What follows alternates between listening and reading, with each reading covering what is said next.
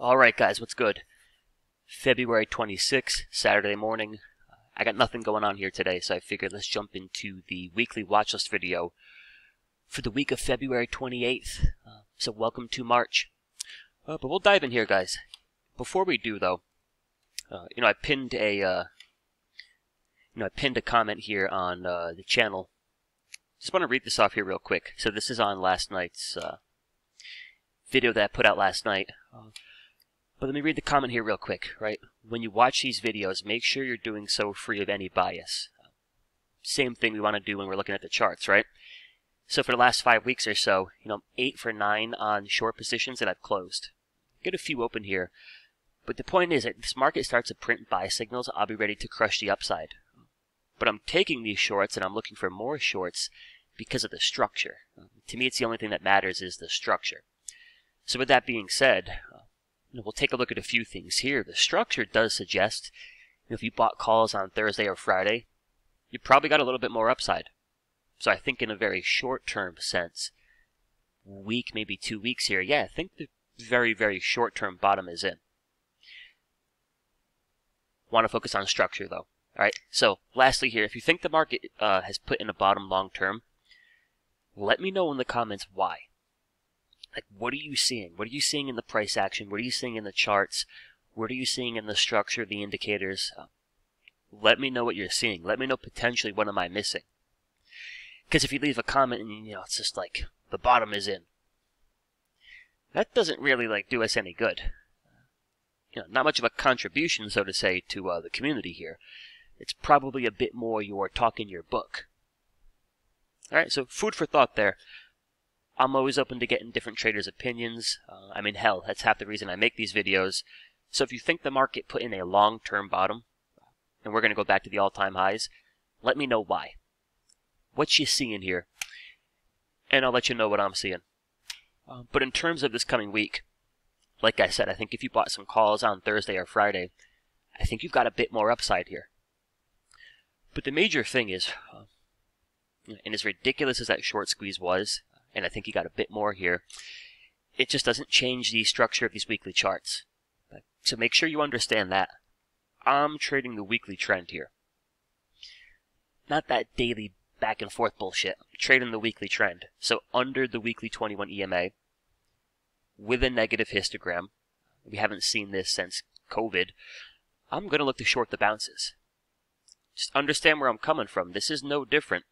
So if you're calling for a long-term bottom right now, maybe you're correct, but you're basically, you know, it's like back here, you're calling for the high. Maybe we're just pulling back the support before we rip into a new high. Pull back the support. So last year it was just not an easy market to try to call for the top end. The only point I'm trying to make is there's going to be oversold bounces. They're very tradable, but from a bigger picture perspective, right now all we're getting is a bounce into weekly resistance, potentially. And I think it's a spot you want to short at. And then in terms of the daily charts, it's very, very similar to what you got back here. Big ass flush, big ass bounce. You stabilize a bit and roll right back over. I just think that's the uh, the part of the ebbs and flows that we're going through right now. Big move to the downside, nasty, nasty short covering squeeze. I'm going to look for it to roll back over. So in terms of the levels I would suggest here, uh, from a weekly charts perspective, I'd like to short bounces into the weekly 8 EMAs. And mind you, if the indexes start to close back above the weekly 21, then I think you got a shift of structure. But right now, these are bearish weekly squeezes. And the QQQ is already releasing all that energy, so you're two weeks into firing the squeeze here. So maybe the bottom is in, but at least be mindful of the fact until we get back above the 21, you're fighting that momentum in the squeeze. Not always uh, the easiest thing to do. So I would like to short these things at the uh, the weekly moving averages. Uh, for IWM, that's 205 to 208-ish. That's what I'm looking for this week. In terms of some lower time frames, right, the uh, the name of the game here, since we started the breakdown in uh, January, has been bounced back towards the hourly 200 SMA and then roll over, right? And we get to these extreme oversold conditions. Then you get your big ass short covering, uh, you know, slaughter fest. Typically back to the 200 before we flush. Then you get the pot back to the 200 before we puke it up. So the IWM here is back near that 200. And this starts to line up with your weekly moving averages as well. So you've got some good resistance here. If the bulls are really going to take control of the wheel again, you look to get back above those weekly moving averages. For the S&P 500, take a look here at the SPY. Uh, same same thing here. We start to flush in January. Uh, that's when I start to get the daily sell signals, and we just get super super oversold. And then you get the bounce into the falling 200. Then we flush, bounce into the 200. We flush, bounce towards the 200, flush. I think we could get there. So again, if you're long right now, I think you got a runway. I think you got a runway up towards this 440, 445-ish level. So for the S&P, that's your hourly 200. And that also lines up with your daily 21 EMA and your daily 200 SMA. So basically, like 450 to 440, it's a pretty big range. That's the move I would, excuse me, that's the move I'd want to short into on the S&Ps. And uh, for the Q-tips here, but notice how this is all based on structure. I haven't said anything about the Fed. I haven't said anything about Russia versus Ukraine. This is just structure. In the Qs here, they've, relatively speaking, been a little bit weaker. Um, so these flushes, you don't quite get back to the 200. Uh, at least not yet. But that 350-ish level, that lines up with your uh, your daily 21. So those are the levels there, guys. Hourly 200s, daily 21s, weekly 8 EMAs, they're all generally in the same neighborhood. So that's the balance I want to short into. And if we were above the 21, and there were positive histograms, and we were, you know, seeing that 21 EMA pointing to the upside, and the stacked EMAs, I would want to do nothing but buy the dip.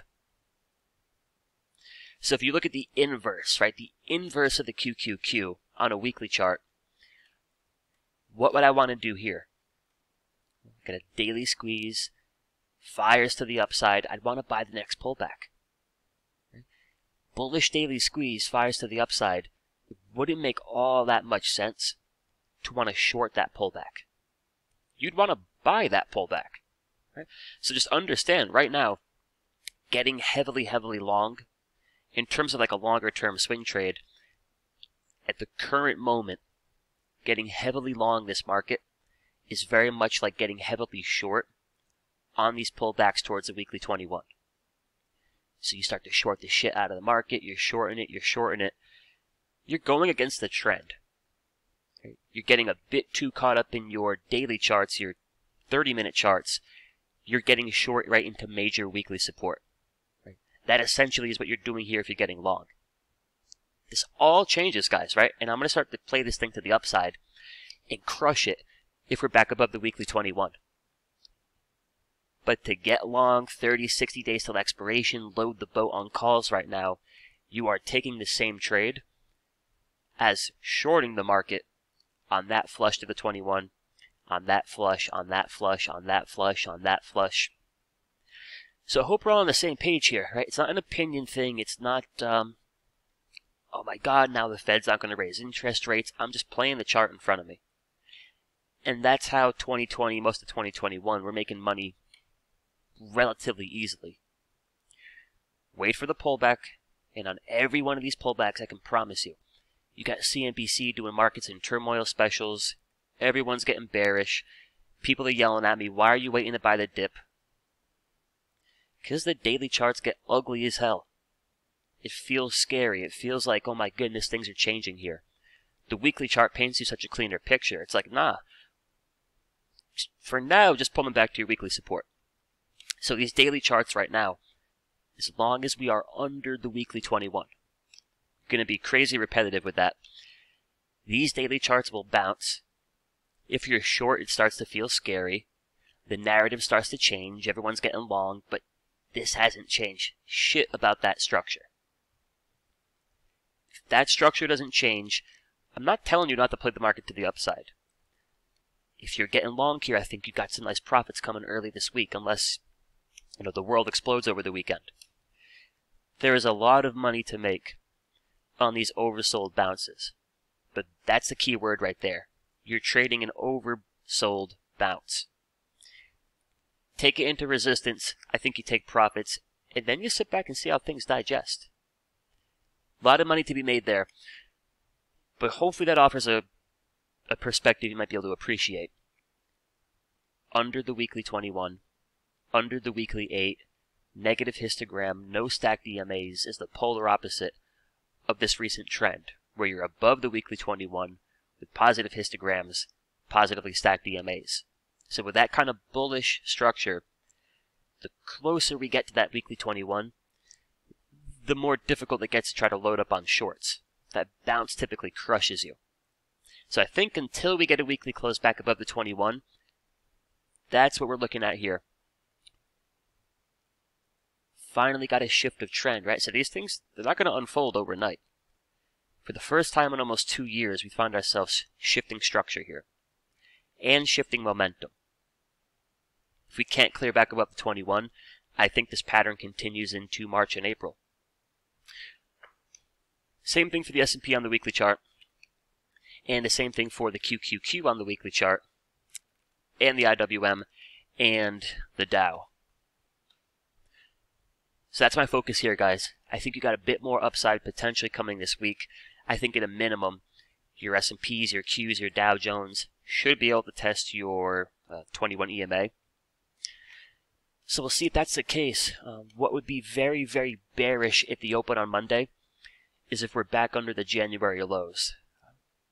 When they squeeze shorts to this extent, and there's plenty more room I wouldn't say plenty more room, but there's, there's room left until you get it back up towards resistance. If they lose control again, right, we're right back under January lows. Uh, like I think this thing gets ugly, ugly. But I think a bit more likely, uh, you know, news aside, is you rally into resistance here. So that's my suggestion. If you're long right now, maybe look to take your profits or scale out. Then see how things start to settle from my perspective, this current bounce is as brutal as it is if you're getting short down here. I think this is what we're seeing. Crazy oversold. Sentiment just gets like way too freaking bearish. Oversold bounce. Trend continues. What's that trend continuing in? The path of least resistance suggested by the weekly chart. So all things that shall play out over the next few weeks. But if we're back above weekly moving averages, there's buy signals. I'm looking to get long. Always going to play this structure.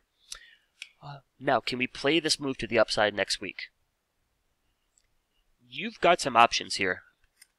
So, you know, in that bullish market last year, one of the bigger mistakes I made was when I would try to get short, right? So basically, when I would try to short during those dips to the weekly 21, I was going about it the wrong way. I was putting on too much risk, and I wasn't really utilizing strategies of the good risk versus reward. So I think what you would want to do here, if you think the S&P's got some more room, and you're looking to play it, you're looking to cover some hedges, I think you're looking for something along the lines of this. You go SPY, you go Friday's expiration, which is the... Uh, what's next Friday going to be? The 4th. So if you think we're going to bounce into resistance, come play something like this. A 345, 350 call debit spread. So if you can lock this up for a buck here, let's check this out on the Analyze tab. If you could grab this for, say, a buck and change, and let's say into Thursday's expiration, we are, let's go, say, yeah, uh, say into Wednesday, we're bouncing up towards 440, 450-ish. You're going to more than double your money. So say you got a short position that expires in March or April. And you're thinking, all right, I, I think we're still going to head lower, but not until they're done crushing the shorts here. Maybe you got 5% risk on your short positions. You know, this is the kind of thing you can risk 1% of your account. And if that you catch that pop, you know, you're moving the account forward by one, one and a half, two percent. If you can get a couple of those on, uh, under your belt, it might cover all your risk on your short. So that's something to take into consideration. Out the money debit spreads for Friday's expiration on the S&P and I think on the Qs. You know, you target probably that 350 level. So let's see, what would you do here on the Qs? Maybe a 348, 350. Yeah, great risk reward. So out the money call debit spreads.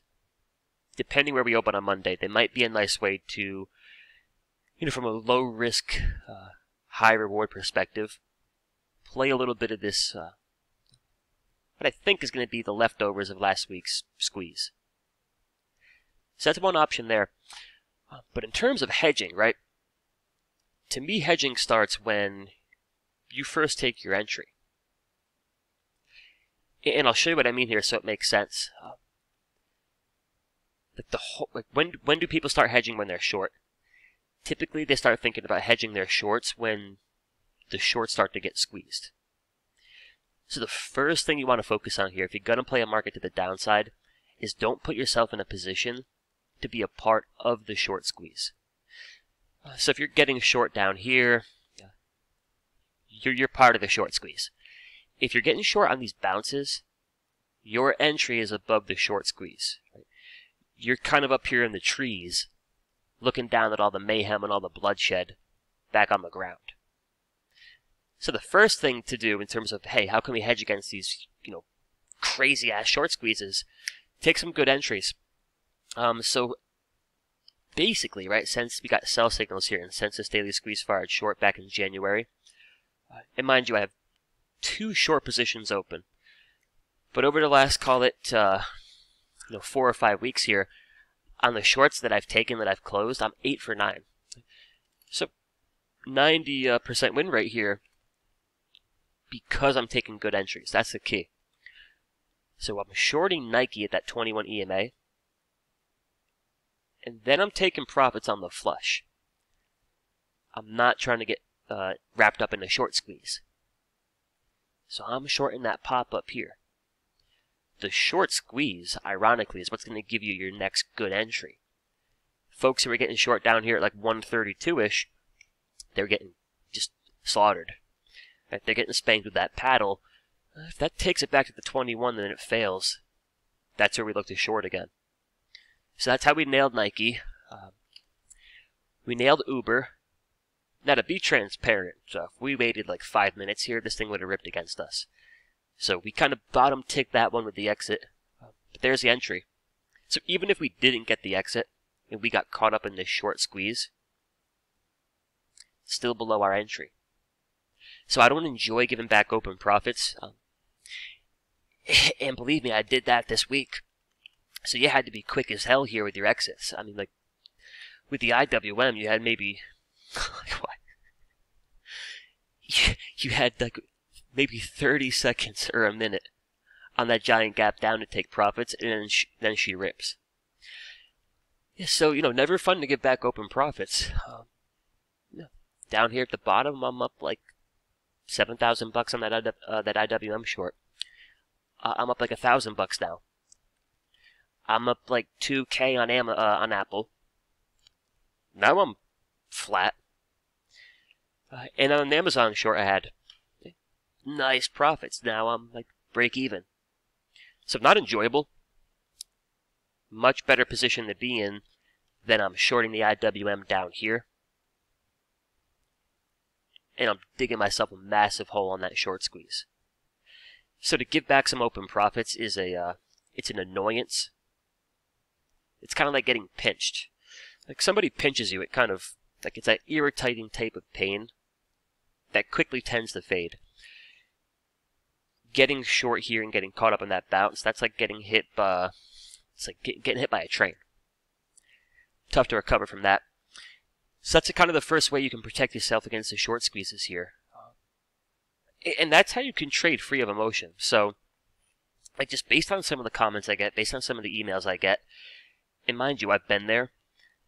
I can just tell a lot of y'all are trading this market like super emotionally. And I can just tell in some of the comments, like, it's a natural thing for people to want to go to bat for their positions. You got to see this stuff with no bias. Right? It's just structure. You're just playing ebbs and flows. Uh, what the hell is this? Right. So if you're short IWM up here, and you got some nice open profits. Now it's kind of coming back towards you know small profits break even. See that for what it is. The trade hasn't unfolded yet. You shorted a shitty looking weekly squeeze. It still looks the same. You don't want to add on bounces here. If you're just looking at this structurally, there's no right, there's no panic. Your account isn't going back. You're not in the hole. You're not losing your account. You're not blowing up. You just got some open profits going back towards break even. Where this all becomes so much more emotional is if you're living and breathing that open PNL. Because on Thursday morning at the open, you know, now I'm Taylor with an extra twelve, thirteen thousand dollars to my name. Right? So if you start thinking like that, you start attaching that open profit like to your identity for the day, you go from like maximum euphoria to the opposite side of that spectrum. So this now, when, you, when you're thinking like that, and this is the stuff that happens without, you know, we don't even know this is happening. But you go from crazy euphoria that all starts going against you, right? You got so much going on in your headspace right now, none of which has anything to do with the structure of the charts. Right? You're total panic mode because you're attached to that open PNL. All things I want y'all to keep in uh, you know, keep in mind here, eh, this game ain't that serious. you short a good structure, the trade works or it doesn't. Hope, hopefully that makes sense, right? If you short something that doesn't work, shouldn't be the end of the world. I mean, so maybe some of y'all are taking some big ass risk here. I mean, kudos if you are. If you're risking two and a half, three percent of your account on your trades, it can only get so ugly. So let the structure play out. Stay out of the uh, stay out of the uh, the headspace.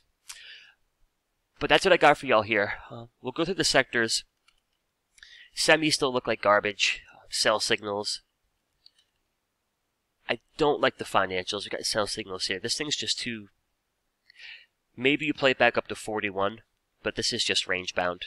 Um, the industrials here it's a bounce back to your 21, so that's still bearish for now. Utilities, it's not bullish by any stretch, but it's back above the 21, so a slight improvement. Slight improvement in healthcare. Consumer discretion, still looking pretty rough. Uh, consumer staples XLP, slight improvement, but nowhere near bullish.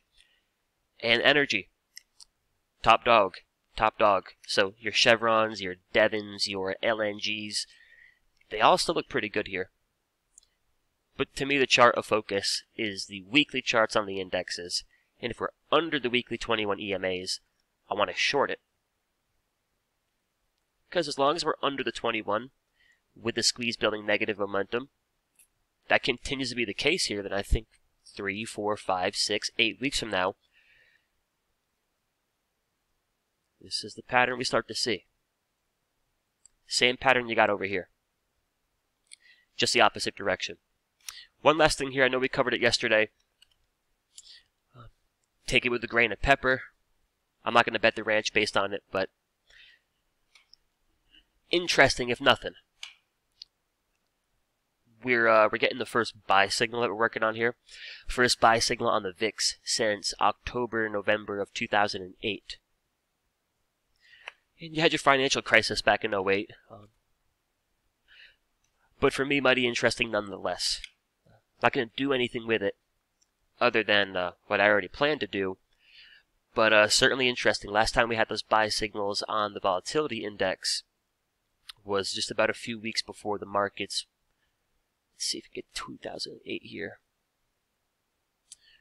Uh, right before the markets. Here we go. Uh, yeah, last time you got those signals was right before the markets. Very similar to where we are right now. Get your first pukage. You get a crazy ass rip back to the 21. This is when that VIX uh, starts to print the buy signals. Then we rolled over another 20% and made new lows. Do I think that's exactly what's going to happen right now just because we're getting a buy signal on the VIX? No. Interesting nonetheless. But there's your weekly watch list. Uh, no individual stock picks here for you. It's going to come down to the indexes. So we'll go through it all here one more time. Bearish weekly squeezes. These bounces don't change that as long as we're under the 21. So I would look to short those bounces if we get back above the weekly mean. Different story. Your key levels to watch early next week. And these levels are key for the bulls and the bears. So if you're short or you want to get short, you want to see things fail here. If you're bullish, you want to see things break out here. For your SPY, it's going to be your your your cluster here. So 440 to 445ish. You have the daily 200, the daily 21, and the hourly 200, which has been a brick wall. Crazy oversold. Crazy bounce. It's kind of been the pattern, so that's a key, key level. And then you have your weekly 8 EMA, basically in the same spot, so that's a lot of resistance. So that's, that's a big question. Play this bounce into those averages, but then we got to step back and see, hey, is this is this just another bounce into resistance before we make a new low? We'll find out, but that's the way I'm seeing it. Um, for the QQQ, same scoop here. You've got your weekly 8 EMA, your daily 21, and your hourly 21, all around that 350-ish and change. And then for the IWM, we're already at the hourly 200, so very similar right now to that bounce and that bounce there. And this also starts to line up around 205, 208-ish with your previous resistance. And previous resistance also lines up with the weekly 8 EMA. So if we fail here, look to short for the next flush to the downside. If we break here and get back above the weekly 21s, start to consider getting some longs on. And if we dip a bit at Monday's open, uh, or we open up kind of flat, there's a few trade ideas to potentially play, you know, whatever gas might be left to the upside, if in fact all this is is just a short squeeze. Understand I got no bias though. Had a great time shorting this thing. Already nailed the IWM once. Try to nail it again here. But when you pick your spots wisely, you quickly get to a point where it can't get that painful. So if I got two profitable shorts on Comcast, a profitable short already on the IWM, profitable shorts on Nike, profitable shorts on Uber, I had one losing short uh, on HCA here. Good entry, but it ripped. Um, and then I've shorted the SPX a few times, right? If you kind of get to this point, and your last couple of shorts don't work, well, you know, it's just kind of similar to you're playing the uptrend as long as it lasts, making money, making, making money, making money, making money, and yeah, you probably give back a little bit when the trend breaks. It's just trading, guys.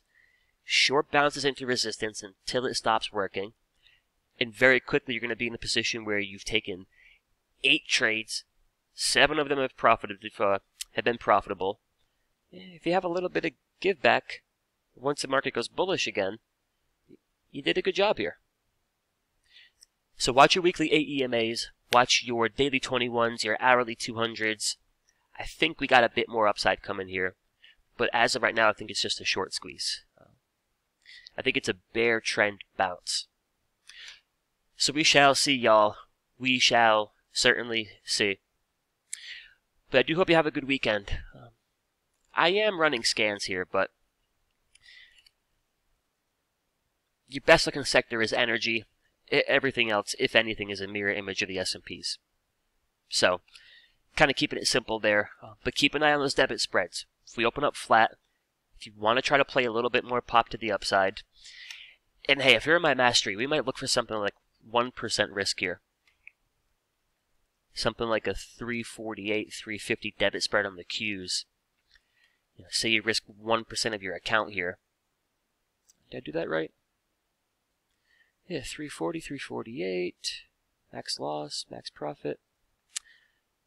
What's the issue here? I'm doing a credit spread. There we go. So say you risk uh, 1% of your account. So you got a $100,000 account. You're going to risk a thousand bucks here. Say you got 5% of your account wrapped up in shorts right now. Right. So let's see. What's this look like? Uh, if we were to take this and catch a nice little pop here into the midpoint of the week, say into uh, Wednesday. I'm in the wrong month here. So say we catch a little paparuski here into uh, Wednesday. Well then, uh, if you can get your Qs up towards that 350-ish. Hold on, y'all. I'm messing something up here. Alright, let me correct this. What am I doing here? Hold on. February 28th. Oh, I'm looking at the wrong expiration. My bad. March 4th. March 4th expiration. There we go. Uh, March 4th, 348, 350. Right, risk 1% of your account here. Things of this nature, right? Out the money debit spreads. Targeting 350-ish on the uh, the QQQ. And then I think on the S&P here, you're going to target 440-ish. 440-ish, maybe a little bit more. So 440, maybe 445. Just things of that nature. The, the key here, though, I think you try to take it into resistance.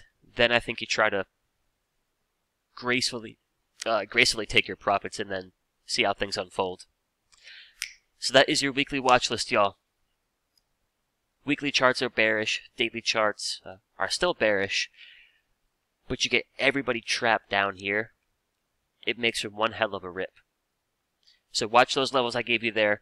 I wish you all the best of luck this week. We'll be live Monday morning uh, at 8.45 a.m. Eastern for some pre-market prep. But hopefully you find some video from uh, today's video. Jump into next week with no bias. If you got calls, have no bias. If you got puts, have no bias.